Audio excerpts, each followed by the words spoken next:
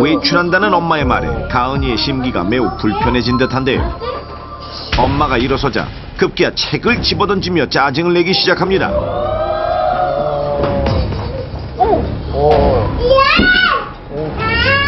급히 엄마를 막기 위해 쫓아나가 보지만 엄마는 이미 나가버리고 난 뒤 어, 그럼 막 내가, 어, 야야, 다쳐.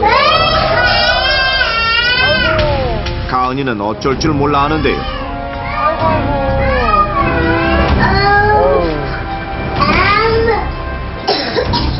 심한 불안 증세를 보이며 우는 가은. 이때 외출했던 엄마가 돌아오고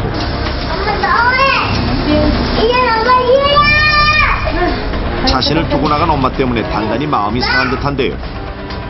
심지어 주먹을 들고 때리려는 듯 엄마를 위협하기까지 합니다. 미안한 마음에 뽀뽀를 하며 가은이를 달래는 엄마. 금세 풀어져 엄마와 장난을 치는데요. 한일 엄마 없으면 무서워?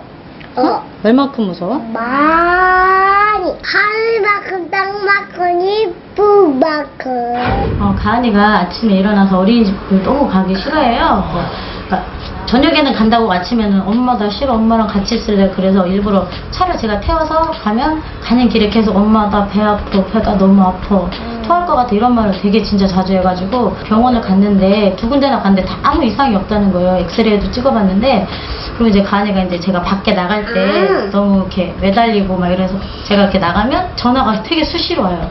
엄마 어디야 빨리 와 엄마 보고 싶어 당장 와 막 이런 식으로 계속 수시로 전화하고 제가 조금만 아프다고 해도 얘가 엄마 죽어? 엄마 아파? 그러면서 막 눈물을 막 흘려요 얘가. 애기들은 얼마나 힘들까요? 그렇죠.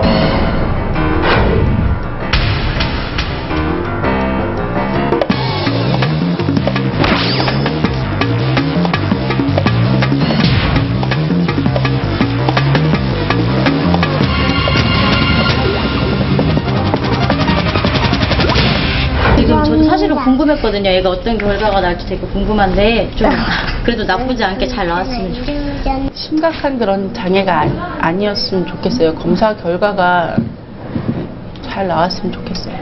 다음 항목 중 두 가지 이상의 증세가 지속될 경우 분리 불안 장애로 진단될 수 있는데요.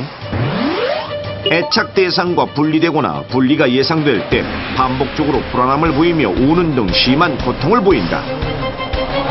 강도 및 교통사고 등의 불의의 사고로 애착 대상을 잃거나 자신이 길을 잃거나 납치 또는 유괴되어 애착 대상과 분리될 거라는 지속적인 걱정을 한다. 분리에 대한 불안 때문에 학교나 그 외의 장소에 지속적으로 가기 싫어하거나 거부한다. 애착 대상과의 분리가 예상될 때 두통, 복통, 오심, 구토 등 반복적인 신체 증상을 호소한다. 이와 같은 증세 중 두 가지 이상 지속될 경우 꼭 병원을 찾아 전문가와의 상담을 통해 진단을 받아볼 필요가 있습니다.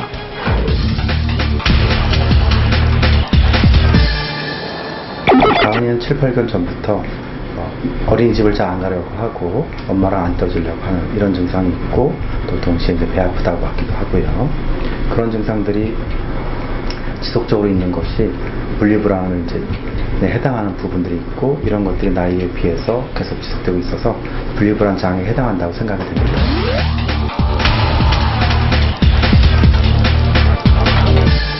지금 현재 어머니랑 안 떠주려고 하고 어머니가 문 앞까지 데려다 줘야 유치원을 들어가는 그런 모습을 보여서 분리불안의 모습을 보이고 있다고 생각이 듭니다. 또한 동생이 태어난 다음에 이런 증상이 심해졌다고 해서 동생과의 갈등도 생각해 봐야 되겠습니다.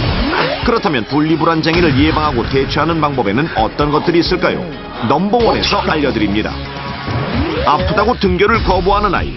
정말 아픈 것이 아니라면 단호히 거절하고 아이를 집에 머물게 하지 마십시오.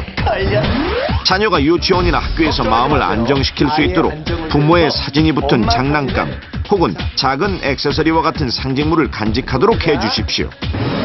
분리불안 증세가 심하다고 느껴질 때는 바로 병원을 찾아 전문가와의 상담을 받아보는 것이 중요합니다. 찌는 듯한 더위가 한 걸음 물러간 가을 날씨. 9월부터는 산을 찾는 등산객이 늘고 곳곳에서는 가을 체육회와 야유회 등으로 자연에서의 야외 활동이 급증하는 이때 자칫하면 소중한 생명을 잃을 수도 있는 무소